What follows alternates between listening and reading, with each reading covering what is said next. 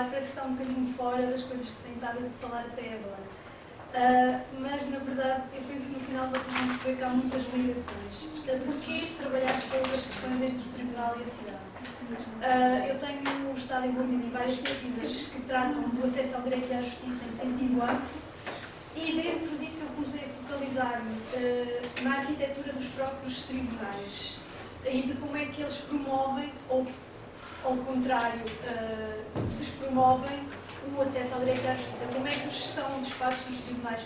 Fiz a análise em Portugal e que impacto é que essas condições tinham, uh, não só no dia a dia dos próprios magistrados e magistradas, enfim, toda a gente que trabalha no, tribunal, mas das pessoas que entravam. Uh, e depois, já no pós-doutoramento, eu comecei a tratar, uh, de analisar quais foram as consequências da implementação da reforma do mapa judiciário em Portugal em 2014. Uh, houve uma grande alteração dos territórios de justiça em Portugal, ou seja, as comarcas alteraram-se, uh, e houve muitos tribunais que se concentraram de uma jurisdição passaram para outra e tribunais que fecharam. E eu quis perceber qual era o impacto que isso tinha ou teve uh, nas próprias comunidades, começando com esta ideia de cidade que uh, a ideia de cidade não é só restrita à cidade como nós conhecemos como é Coimbra, uma cidade, não é? porque há vários elementos que levam a que uma comunidade se transforme, uma localidade se transforme numa cidade, mas a minha ideia era perceber qual era então esta relação entre o tribunal e a cidade, entre centros e periferias. Uh, e eu, na, no resumo que mandei, eu começo por usar uma citação de um arquiteto italiano, que é o Renzo Piano, que esteve por trás uh, da, da, arquitetura uh, do novo Palácio de Justiça em Paris. E ele disse uma coisa que eu achei muito interessante, que é um Palácio de Justiça é como uma pequena cidade que tem tantas coisas diferentes que se devem fazer, que se devem harmonizar. Ou seja, esta ideia de que o tribunal é uma pequena cidade já dentro da cidade. E, portanto, pensar no tribunal, no edifício, na sua localização, como construtor da própria cidade, e isto, por exemplo, é uma coisa que teve muita importância, uh, e vem até a propósito daquilo que disse o Gustavo na sessão anterior, a ideia do colonizador e de como o processo de colonização foi levado pelos impérios para os territórios que depois se transformaram em colónias na altura. E, por exemplo, uh, na Austrália o tribunal foi central o edifício do tribunal foi central nesta construção daquilo que é o território hoje urbanizado na Austrália. Portanto, o tribunal como polo de planeamento urbano. E esta ideia, então, do tribunal como construtor da cidade. Também o facto de que uh, há uma relação muito estreita entre tribunal e cidade, que foi estudada, por exemplo, por Max Weber, quando uh, começou a, a pensar na forma como as cidades ocidentais se construíam e se planeavam e um dos elementos que ele considerava importantíssimo para dizer que estávamos perante uma cidade era, para além da fortaleza do mercado, o tribunal. Portanto, o tribunal como um polo de construção da cidade e da própria administração da comunidade. Portanto, é, é, para mim, do meu ponto de vista, obviamente isto pode parecer um bocadinho fora do saco, não é? Mas uh, a ideia de pensar como o Tribunal e as alterações que foi a sua localização e o próprio edifício foram sofrendo ao longo dos tempos, que podem também dar pistas para a própria ideia que nós encaramos o centro e a periferia.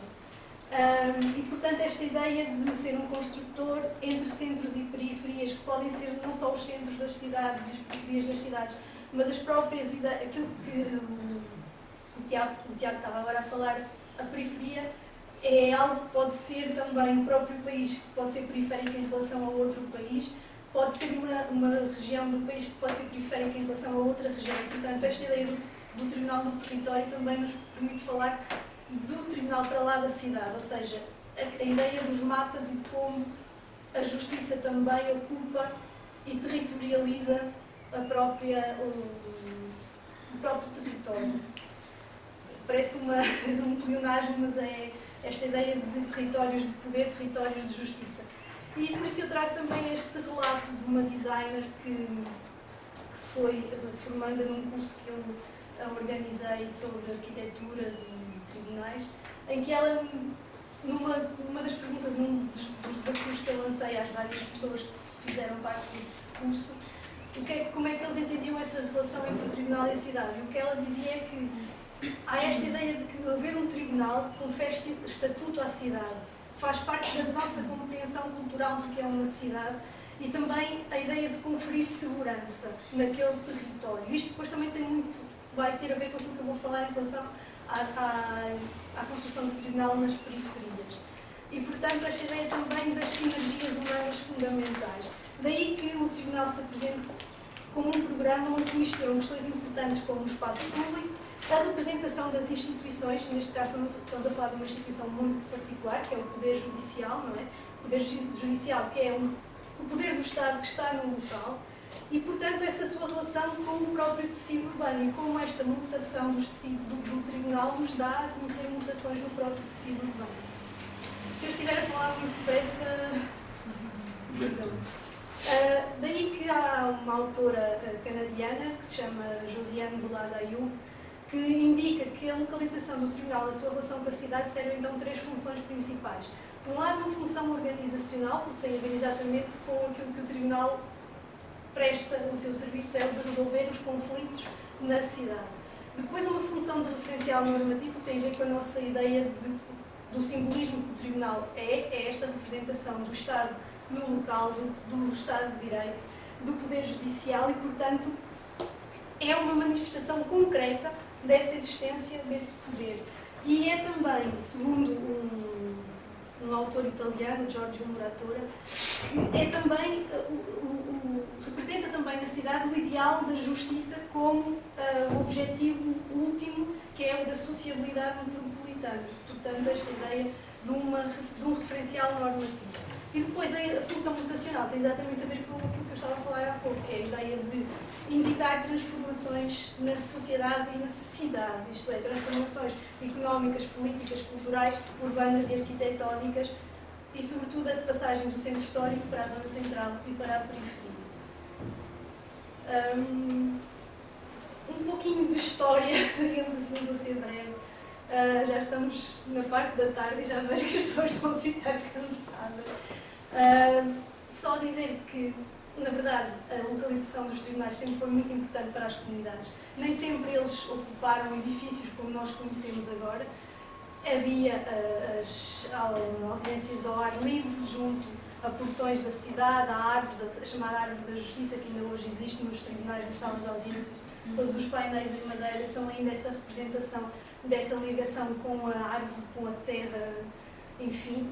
Um, e, portanto, esta, esta ideia de estarem ligados à comunidade em locais muito centrais, onde era possível aceder facilmente. Daí que fossem sempre lugares muito importantes para a comunidade. Depois, com o passar do tempo, chegamos à Idade Média e começa a haver a necessidade de construir as chamadas Casas da Justiça.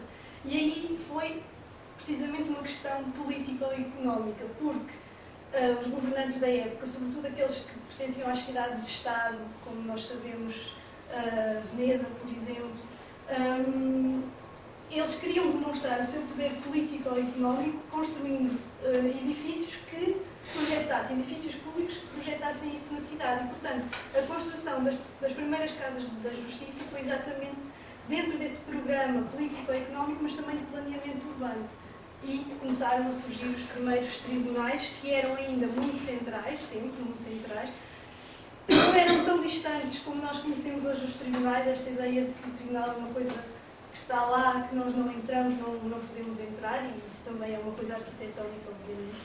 Mas a ideia de que havia um fluxo constante entre a cidade e o tribunal, porque havia comércio à volta, havia toda uma uh, estruturação de relações que se faziam à volta do tribunal. Por exemplo, na, nos Estados Unidos da América, até ao início do século XX, o tribunal, as reuniões mensais dos tribunais eram super importantes, porque era quando as comunidades se reuniam, era quando podiam, hum, por exemplo, fazer negócios do seu gado, era quando toda a gente se juntava naquele dia. Havia ali uma função social do tribunal que continuam, por exemplo, a existir no Brasil quando o tribunal não é um edifício, é um barco e vai ao Amazonas e leva à justiça itinerante ou é um ônibus. Portanto, há esta função social do tribunal, que não é só questão de resolver os conflitos, não é só uma questão de cidadania, mas também levar outras coisas como informação, como, enfim, uma série de, de outras coisas que parece que não fazem parte do tribunal, mas que estão interligadas.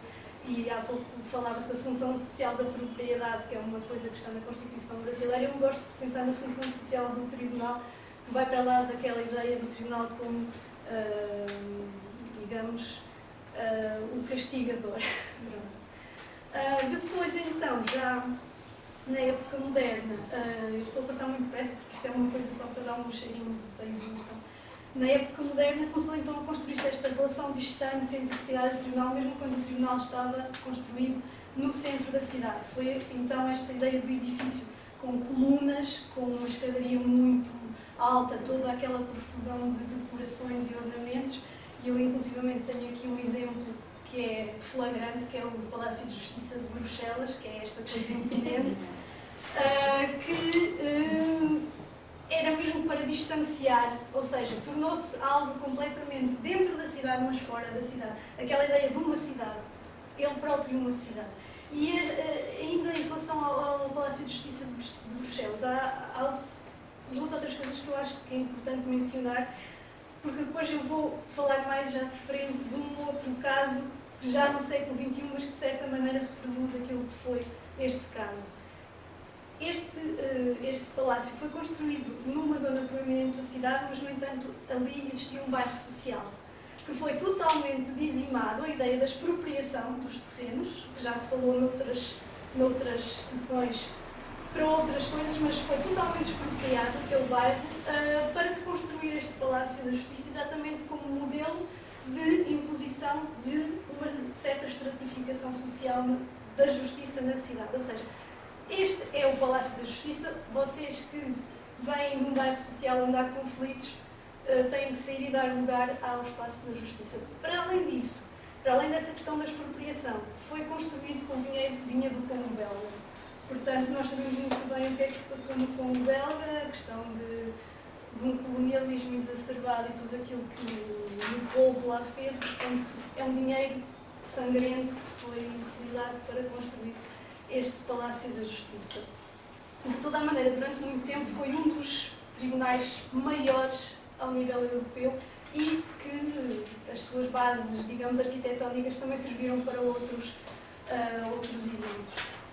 Uh, outra ideia que também tem a ver com, outra questão que também tem a ver com esta ideia do centro, da distância e da imponência, é eh, precisamente a presença ditatorial da justiça na cidade, e eu aqui apresento os casos de Portugal e de Itália. Portugal porque, eh, enfim, estamos em Portugal, eu sou portuguesa, já sou uma filha da Revolução, mas os tribunais que foram construídos em época ditatorial continuam aí, continuam a funcionar e continuam a ser uma referência e um modelo. E exatamente como vocês podem ver nestas entrevistas, havia esta ideia de construir um edifício que se centrava exatamente no centro da cidade, na praça principal das cidades, ele é extremamente reconhecível. E, hum, portanto, há hum, uma, o querer impor o Estado novo em todo o território através de, um, de vários edifícios públicos, e um deles é precisamente o Tribunal como demonstrador do poder do Estado.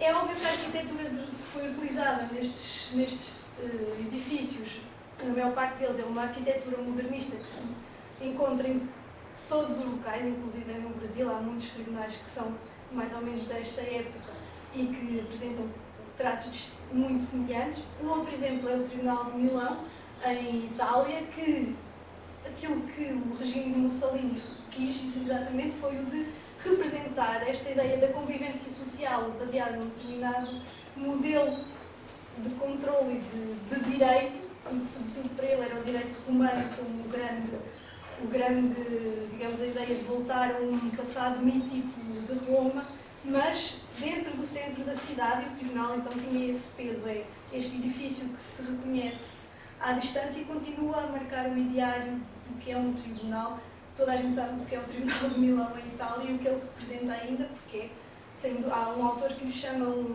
um memento moris, ou seja, um, um monumento à ditadura, porque é muito uh, reconhecido. Uh, mas depois começamos a ver uma passagem do Tribunal do Centro da cidade para as periferias. E uh, no projeto que eu coordenei, nós aplicámos um inquérito aos tribunais, que foi respondido pelos secretários judiciais. Uh, e como se vê, a, a, maior parte dos tribunais continua a estar no centro histórico ou na zona central e foram exatamente construídos durante a época da ditadura, ou seja, de 1950 até 1974. Depois, aqueles que já estão na periferia do aglomerado urbano já são construídos, sobretudo a partir da década de 1990, quando há outras uh, construídos ou instalados, porque a época de construção foi muito, muito elevada durante a ditadura, mas em época democrática não se construiu tanto. Adaptaram-se muitos edifícios e muitos deles uh, são edifícios que não se reconhecem, ninguém sabe que aquilo é um tribunal, uh, muitos deles funcionam em espaços que são, não têm qualquer dignidade, digamos assim, para funcionar como tribunal e isso também tem muito impacto na maneira como as pessoas se relacionam com os espaços. Mas só para terem uma ideia de como a localização, por ano de construção ou de instalação, se foi alterando uh, ao longo dos tempos. Uh, e esta ideia da passagem de, desta exurbanização dos tribunais também é algo de que a Comissão Europeia para a Eficiência da Justiça já se deu conta numas diretrizes que, que enfim, criou em 2014 sobre a questão da, dos, das infraestruturas dos tribunais e eles uh, deram-se conta de uma coisa que já toda a gente se tinha dado conta, mas pronto, que os, os centros das cidades já são muito difíceis de construir, de poder ter novos tribunais e, portanto, há necessidade de ir para as zonas suburbanas e também temos que pensar nessa, nesse desenvolvimento urbano que o próprio tribunal pode levar ao lugar, pode proporcionar ao lugar. Uh, há quem fale também desta ideia de um, ir -se, dar segurança ao próprio lugar, de ir promover o desenvolvimento económico, porque há toda uma série de serviços que vão funcionar à volta dos tribunais e, portanto, a localização do tribunal na periferia vai uh, dar início a um novo planeamento urbano e vai ser um coadjuvante nesse, nesse programa de desenvolvimento urbano. Uh, aqui há algumas entrevistas, eu não vou ler só, pronto, como viram, eu pus a, a negrito algumas das coisas que eu acho que podiam dar mais uh, ênfase àquilo que eu estou a dizer, que uh, das pessoas que eu entrevistei, uh, há esta ideia de que não se pode mais localizar um tribunal nos centros das cidades, porque as cidades crescem, as cidades não são, enfim, estáveis, vão-se modificando, a própria demografia se modifica e, portanto, há a percepção de que os tribunais saírem do centro e irem para a periferia faz parte desta morfologia das cidades. Há quem considere, porém, que esta ideia de passagem para a periferia é um desprestígio para a justiça, por um lado, porque, as pessoas, porque deixa de estar junto do centro de poder, e por outro lado é também um desprestígio para o próprio centro histórico da cidade, porque perde um edifício emblemático e vai ficar o deserto é a ideia de que ficará no deserto. Um,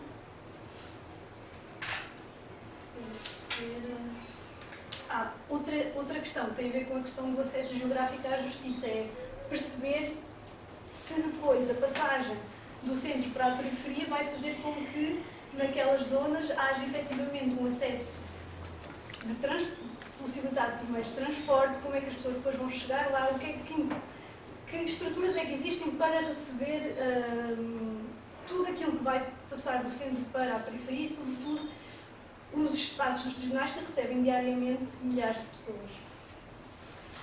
Uh, eu agora queria então falar do caso do. Até porque eu comecei por citar o Renzo Piano, que foi quem esteve por trás uh, deste edifício que foi inaugurado em abril do ano passado, que é o Tribunal de Grande Instância em Paris Durante cerca de sete séculos ele esteve o, na Ile de la Cité, que é uma zona muito, muito central do centro histórico da cidade de Paris, e, entretanto, a partir de, do final da década de 90, começou a considerar-se que o tribunal já não tinha as condições suficientes para as pessoas que lá trabalhavam e precisavam de mudar. Então, a ideia da mudança foi para a periferia.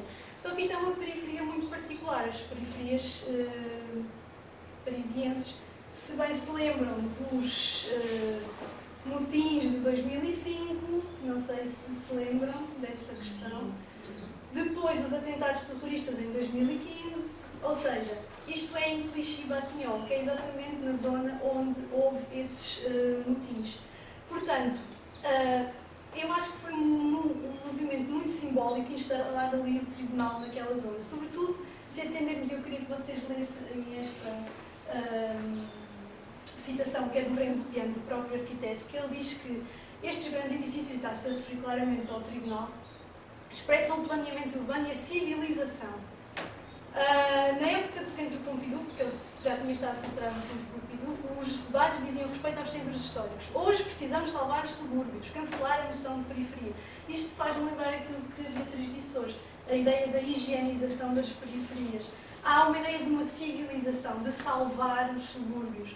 Não é que, hum, enfim, há um autor... Hum, italiano que se chama Paulo Perulli, que ele diz uma coisa muito interessante, também já se falou hoje, que é a primeira cidade desloca a população e os conflitos para a periferia. E depois desloca para a periferia as próprias instâncias de resolução e de neutralização dos conflitos, e neste caso é um tribunal. E há quem considere este tribunal um agrafo. Não sei se em brasileiro, se em brasileiro, perdão, se em português Brasil se diz agrafo, sabem o que é? É, é esta coisa de. Um grampo. Um grampo, exatamente é visto como um grampo que está a ligar o centro e a periferia. E uma coisa que eu acho também interessante é que é um edifício totalmente envidraçado e tem uma dupla fachada. Ele olha para o centro e olha para a periferia. É como se olhasse para o centro, o centro como o ideal, e depois reflete essa imagem na periferia. Ou seja, a periferia nós sabemos bem que é habitada por pessoas que vêm uh, de um certo contexto, ou seja, são muitos deles um, já filhos e filhas de uh, pessoas que são oriundas do Maghreb, que são oriundas da Argélia, e, portanto, há ali uh, uma grande comunidade muçulmana, por isso eu falei da questão de 2015 e dos ataques terroristas, porque este edifício é todo uh, feito em, com arquitetura e materiais anti-terrorismo, digamos assim. Portanto, eu acho que é daí eu ter trazido este este exemplo e ligando com o exemplo já de Bruxelas, porque uma coisa foi no final do século XIX, estamos agora no século XXI. Uh, ah, depois, a, a ideia também de, dos mapas judiciários e desta uh, transformação que o fecho do tribunal pode trazer às comunidades e do impacto socioeconómico que isso tem, uh, até em termos de desigualdades, Uh, como eu já se tinha falado em, em, relação à própria habitação, as desigualdades socioeconómicas e desigualdades territoriais também, a presença ou a ausência do tribunal tem muito impacto nos territórios e, de facto, sobretudo no interior, isso quando os tribunais fecharam. Pois eles em 2017 foram reabertos, mas não foram reabertos a funcionar como tribunais no sentido pleno, mas só como instâncias de proximidade, ou seja, pequenas antenas. E isso levou na altura ao fecho e o pré-fecho levou a muitas manifestações de muitas localidades porque sentiam que iam perder o seu estatuto enquanto cidade, iam perder a sua cidadania com o fecho do tribunal. E as desigualdades territoriais e socioeconómicas têm muito a ver com isto, é que a concentração dos tribunais deu-se para a parte urbana, litoral, do litoral, enquanto que a parte interior e mais ruralizada ficou com um deserto judiciário. Portanto, o impacto que tem, não só em termos do próprio planeamento urbano e a, e a, relação que as pessoas estabelecem com o tribunal, mas também o próprio um, impacto que tem socioeconómico. Uh, nesta entrevista a um representante da Câmara Municipal, a ideia do dinamismo que dá ao próprio local e a criação de emprego, tudo o que gira em torno do tribunal. E, portanto, estas eram algumas das questões que eu queria deixar-vos. Eu sei que parece-me uma, uma carta fora do baralho, mas acho que se liga com tudo aquilo que, foi que se foi falando ao, ao longo destas duas sessões.